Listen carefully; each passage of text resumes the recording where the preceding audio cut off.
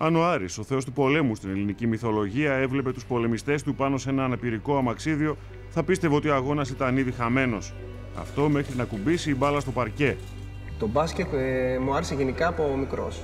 Ε, επειδή λόγω του προβλήματος δεν είχα τη δυνατότητα να παίξω σε κανονική ομάδα, ε, κάποια στιγμή πριν 20 ε, χρόνια κάποιος με πλησίασε και μου μίλησε για μπάσκετ με, με καρότσι. Η δικιά μου η αναπηρία είναι εγκεφαλική παράλυση η οποία προήλθε, είναι κινητής. Θεωρούσα ότι δεν μπορώ για τον απλούσταρο το λόγο ότι δεν γνώριζα για ειδικό αθλητισμό εγώ μέχρι τα 18 μου. Και μου ήταν κάτι πρωτόγνωρο για μένα. Δεν είχα ξαναδεί καρότσι, δεν είχα ξαναδεί. Ε, για να πω την αλήθεια, πέρα από μένα εδώ που μένω, δεν είχα δει κάποιο άλλο παιδί με πρόβλημα. Και δεν γνώριζα ότι υπάρχει ειδικός αθλητισμός στην Ελλάδα, ότι μπορείς να κάνεις κολύμβηση, μπάσκετ με καροτσάκι, στίβο. Δεν γνώριζα τίποτα περί ειδικού αθλητισμού. Οπότε μου ήταν, ήταν κάτι ξαφνικό. Και δεν ήξερα, ήταν άγνωστο. Ασχολήθηκα και είδα ότι μπορώ να τα καταφέρω και, και είπα ότι θα παίξω μπάσκετ με καρότσι. Το πρώτο καλάθι στην Ελλάδα στήθηκε το 1918 από τη Χάνθ, με δύο καρέκλες καρφωμένες ανάποδα σε έναν τοίχο και μία μπάλα ποδοσφαίρου. Μετά τον Δεύτερο Παγκόσμιο Πόλεμο, οι ελληνικές ομάδες οργανώθηκαν καλύτερα, έμαθαν νέες τακτικές και οι φίλαθλοι άρχισαν να γεμίζουν τα γήπεδα.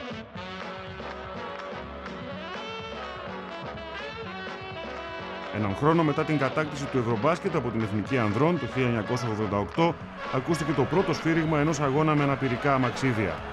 Μία ομάδα από την Αθήνα και μία από τη Θεσσαλονίκη διασταύρωσαν τα ξύφη τους στο παρκέ και από τότε το παιχνίδι διαδόθηκε γρήγορα.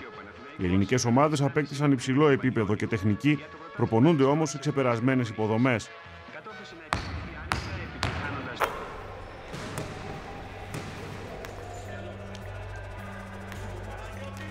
Πίστευαν ότι δεν υπάρχει μεγάλο αριθμό στην Ελλάδα.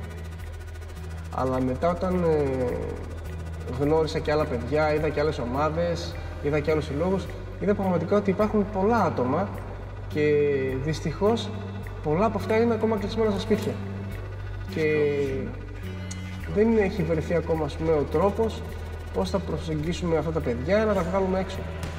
Κάποιοι έχουν ασχοληθεί, αλλά είναι πάρα πολλοί που είναι κλεισμένοι στα σπίτια τους και έχουν απομονωθεί από την κοινωνία. Πέρα από τη φυσική κατάσταση που, που βλέπεις γιατί αθλείσαι, ε, θέλω να πω ότι η ζωή σου αλλάζει, ε, πιστεύω ότι γίνεσαι πιο πειθαρχημένος. Μπαίνεις βασικά σε ένα καλούπι αθλητή. Εμένα, ας πούμε, όταν με βλέπει κάποιος στον δρόμο, λέει ότι αυτό πούμε, το παιδί έχει ένα γεννητικό πρόβλημα. Αλλά ε, σίγουρα δεν μπορεί να ξέρει ότι δεν ξέρουν όλοι ότι εγώ παίζω μπάση με καρότσι. Αυτό που με άλλαξε με έκανε ε, πιο κοινωνικό σε σχέση με πριν. Παίζοντας μπάσκετ, θέτεις έναν ρεαλιστικό στόχο και πιέζεις τον εαυτό σου στα όρια για να τον πετύχεις. Για ορισμένους, αυτό που τους εξητάρει είναι η προσωπική ικανοποίηση κάθε φορά που η πορτοκαλί μπάλα βρίσκει τον στόχο της στο καλάθι. Για άλλους, είναι η πολύ καλή φυσική κατάσταση και η αυτοπεποίθηση ότι μπορούν να πετύχουν τους στόχους που έχουν θέσει ως άτομα μέσα σε μια κοινωνία ορθίων. Μαθαίνουν πώς να αντιμετωπίζουν τις προκλήσεις ως ευκαιρίες παρά ως εμπόδια. Μέσα στον αγωνιστικό χώρο δεν υπάρχουν ταμπού. Δείχνεις προς τα έξω ότι η αναπηρία δεν είναι ανικανότητα και η ζωή, ότι η ζωή δεν σταματάει με κάποιο ατύχημα ή αν έχεις κάποιο πρόβλημα γεννητή. Η ζωή συνεχίζεται και πρέπει να παλεύεις για να γίνεις καλύτερος και στην κοινωνία και στον αθλητισμό. Πρέπει να ξεφύγουμε από το, το πρόβλημά μας το κινητικό και να δούμε τους εαυτούς μας ε, ότι είμαστε αθλητές. Και αυτό πρέπει να παρουσιάζουμε στον κόσμο. Πρέπει ο κάθε ένας που ασχολείται με τον ειδικό αθλητισμό να νιώσει πάνω απ' όλα ότι είναι αθλητής. Και μετά θα το δει με άλλο μάτι και η κοινωνία.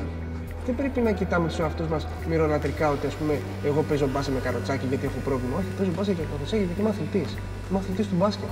Γι' αυτό παίζω μπάσκετ. Και έτσι τελικά θα αλλάξουμε προς το καλύτερο.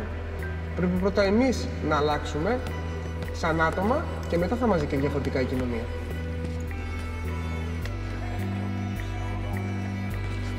Αφανής ήρωας από την πλευρά ότι το, αυτό πάνω απ' όλα το κάνουμε γιατί το αγαπάμε.